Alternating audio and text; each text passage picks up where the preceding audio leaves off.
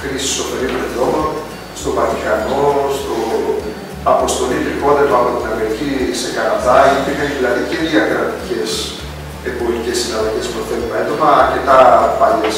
Ή τη Ισέρια που ήρθε από την Αυστραλία, το Ροτόρια Καρδινάλης ταξίδεψε μέχρι την Καλιφόρνια για να αντιμετωπίσουμε την Ισέρια, ε, η οποία έβαλε τα εσπεκτοειδή. Τώρα, η βιολογική καταπολέμηση έχει ιστορία 2.500 ετών. Δεν υπήρχαν φυσικά χημικά σκευάσματα παλιότερα και χρησιμοποιήσαν τα ωφέλιμα έντομα.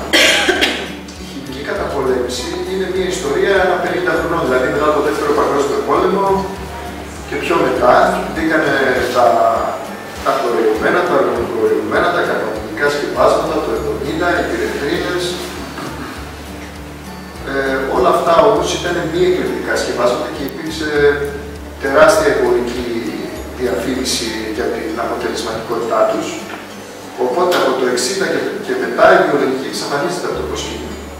Δηλαδή 2.500 χρόνια ιστορίας παραγωνίστηκαν από 40 χρόνια ιστορίας της χημικής καταπολέμησης. Ε, υπήρξε όμως κάποιο αδιέξοδο, υπήρξαν ε, ε, συνέπειες από την αλόγιστη χρήση των χημικών σκευασμάτων, οπότε υπάρχει πίεση κοινωνική των καταναλωτών, των αγορών, πολιτική πίεση αν θέλετε, να μειωθούν ή να εξαφανιστούν όπως τα χημικά σκευάσματα. Ξεκινάνε λοιπόν οι Ολλανδοί να κάνουν μια αναδρομή σε τι εναλλακτικές μεθόδους υπάρχουν. Κάνανε επιτυχημένα καλλιέργεια πυρογιάς και ντομάτας βιολογικά. Είδαν ότι οικονομικά και όσο αφορά την αποτελεσματικότητα συμφέρει και έτσι ο κόσμος στρέφεται πλέον ξανά στην κοινωνική καταπολέμηση.